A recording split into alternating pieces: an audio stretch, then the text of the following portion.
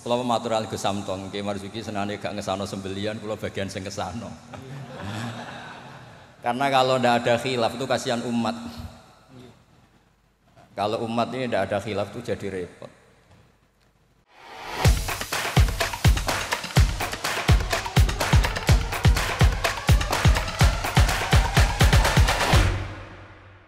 Utamanipun Kiai Haji Ahmad Mustafa Bisri sedanten keluarga wonten Gus Yahya Gus Menteri sedanten wonten Kiai sepuh wonten iki wonten penantang kula fikih Kiai Marzuki. Mboten nantang. Iki Malang ngoten niku. Dados kapan-kapan struktural pengurus NU niku piyambake Suriah mawon ampun tanfidiyah. Nggih kula memang dari awal kepengin takdim teng Mbah Mus, kula mboten biasa pidato lami kados Kiai Marzuki. Kula 20 menit. Ngeten nggih. Jadi fikih kita niku fikih Syafi'i. Imam Syafi'i itu ngaos kalian Imam Malik. Ngaos usul fikih kalian Muhammad bin Hasan Asy-Syaibani, muridipun Abu Hanifah. Niki penting kersane sanat terjaga. Teng mriki riyin wonten Ki Bisri, murid saking Ki Khalil Harun. Ki Khalil Harun keluarga sarang, muridipun kakake namine Umar Harun. Riyen alim-alime Ki Sarang sause angkatipun Mbah Ghazali, angkatanipun Mbah Ghazali Ki Umar Harun, termasuk guru-gurunipun Mbah Dowi, gurunipun Mbah Muhaimin. Sedanten keluarga kula lasem nate ngaos Mbah Umar Harun, termasuk buyut kula kandung namanya Mbah Dimyati. Lalu ini alhamdulillah wow Kiai Marzuki mon panjang lebar rang. Dan alhamdulillah tuduhannya selalu gak sah. Nggih. Kula matur al Gus Samtong, Kiai Marzuki senane gak ngesano sembelian, kula bagian sing kesano. Karena kalau ndak ada khilaf itu kasihan umat. Kalau umat ini ndak ada khilaf itu jadi repot. Sebab itu teng pondok-pondok diajarkan kitab namine Mizan Kubro, wonten kitab Qalyubi Umairah. Itu logika yang dibangun itu kecuali mut'ah. Kalau mut'ah itu kita sepakat haram semua. Karena kalau kamu tidak mengharamkan malah kemecertok kepingin. Jadi haram mawon lah. Ngeten kalau logika yang di kitab Mahali. Ini kitab kesukaan keluarga sarang. Di dua liyah pasti diajarkan kitab Mahali misalnya dabihah atau masalah salam, masalah sujud, itu mesti ada kaul awal, kaul sani, kaul salis. Dan itu ada pandangan yang nggak bisa dibantah. Misalnya sujud, sujud itu ya normalnya ya umur itu an asjuda ala sapati azumin. Saya diperintah Nabi ini sujud melibatkan tujuh anggota. Al jabhah wal yaden wal rukbaten wal kodamen. Sudah tujuh kan? Tapi Imam Syafi'i itu sempat ngeper. Ngeper itu ya mulai ragu. Wayah tamilu kata beliau ikhtimal juga yang syarat pokok itu jabha. Karena Nabi pernah berdoa itu sajadalaka wajhi, bukan sajadalaka wajhi wa yadi wa.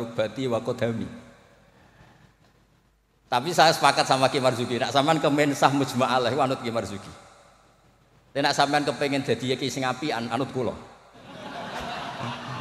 Terus kula baleni nek kepengin mesti sah niku anut Kiai Marzuki.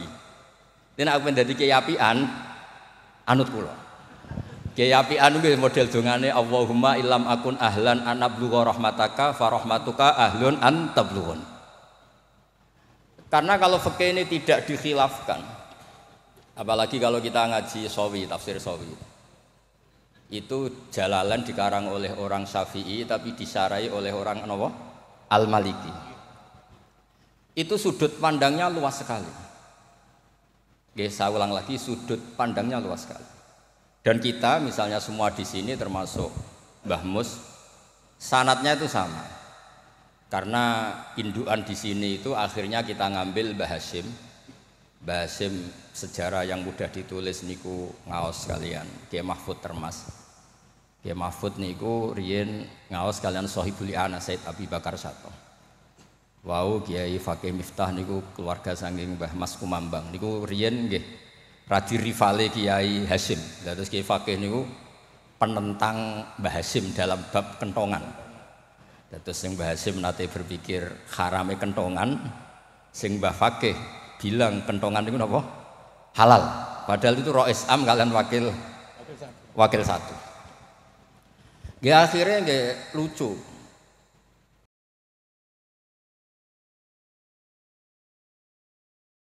Cerita yang beredar sing terkenal rian keluarga mriki nggih ngaos teng Mbah Dimyati Termas, adik ibu nggih Mahfud. Itu cerita yang terkenal itu Kiai Hasim mau rawuh ke Termas semua kentongan disembunyikan termasuk beduk. Mbah Hasim sempat GR, wah bagus-bagus anut madhabku. Setelah jagungan sama Kiai Dimyati, adiknya Kiai Mahfud, santri yang lugu itu matur, Mbah kentong beduk sudah disimpan, aman. Ternyata bodon-bodonan tok untuk menghormati bahasa. Lalu karena logika yang dibangun itu orang seneng Mbah Fakih Mas Kemambang. Niku senajan to NU lah dia tetap ngaku kentong. Kiai Fakih itu buatan terima nak kentong itu disamakan dengan nakusun nasoro, kentong itu yang nasroni. Karena fungsinya niku tiang kebakaran gitu kentongan, tiang banjir gitu? Kentongan. Jadi tidak identik untuk manggil orang ke napa? E, biak atau kekanisahnya orang Nasrani. Jadi kunane kuno khilaf itu harus kita jaga. Ya saya ulang lagi khilaf ini harus kita jaga. Ikhtilaful a'immah napa? Rahmah. Tapi tadi basisnya harus ngaji. Dulu itu ya orang sholat jenazah itu ya normal. Jenazahnya di depan yang nyolati ya di timurnya berarti kalau di Indonesia. Lalu ya ada saja yang usil itu syarat sah apa adat ya ada ulama yang mungkin ya kados Mbak Marzuki syarat sah Terus ditakoki, "Lah nek salat gaib piye? Mayite ning Surabaya salat gaib wong Rembang."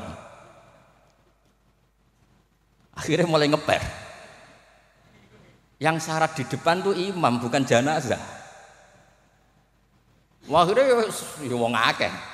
Wong akeh nggih tiyang kata terus. Ya nak jenazah ono ning Arab, nak jenazah ono ning Gurila. Lah itu kan logika fikihnya kacau. Kaconya itu Ya ya itu syarat sah apa syarat adat? Artinya hakada wajatna salafan wa kholafan. Tawaf di Ka'bah juga gitu. Imam Syafi'i itu bersikukuh kalau tawaf terlalu dekat itu nggak sah. Alasannya di situ ada tonjolan sadarwan, tonjolan eh, pondasi. Jadi kamu tidak mengitari Ka'bah tapi di atas Ka'bah. Tapi kata Imam Malik, kata Imam Hanifah, ya serapopo. Ngono iku kecelok mubeng kok repot. Jadi memang mulai dulu saya ulang lagi mulai dulu.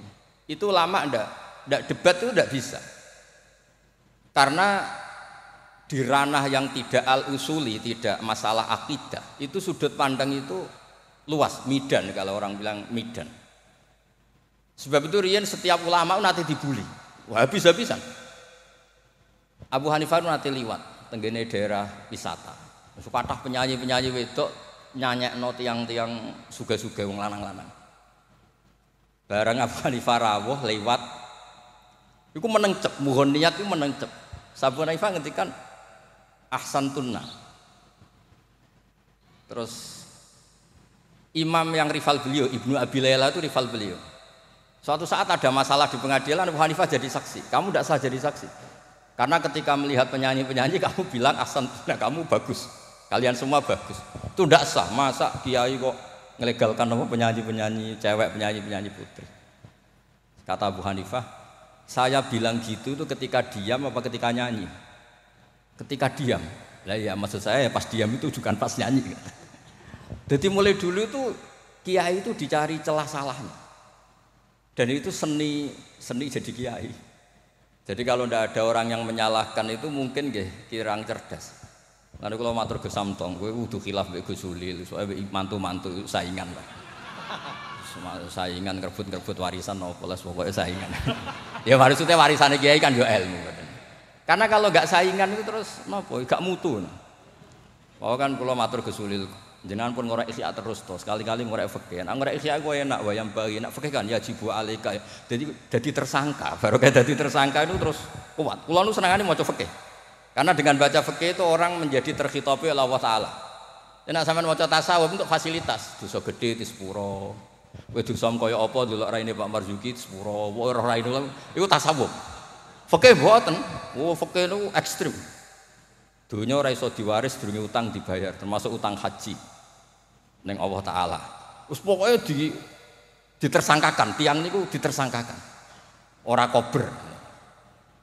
Benten nak ngaji tasawuf. Makanya terus kula niku nak sakniki kan tasawuf itu beredar di mana. Kula ora disusah.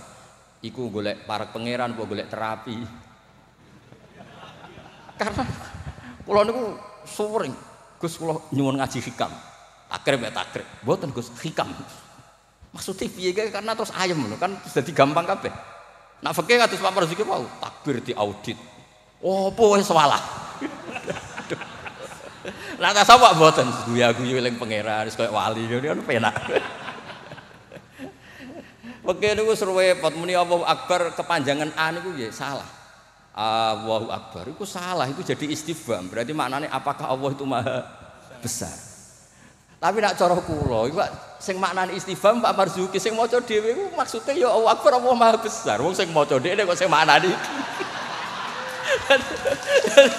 Jadi niki tapi kena mesti kepengen sahanut Pak Marzuki. Tapi mau nak kepengen dadi kiai api ananut kula.